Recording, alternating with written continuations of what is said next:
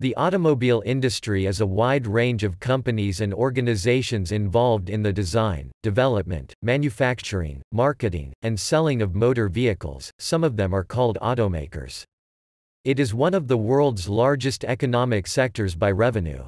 The automotive industry does not include industries dedicated to the maintenance of automobiles following delivery to the end user, such as automobile repair shops and motor fuel filling stations.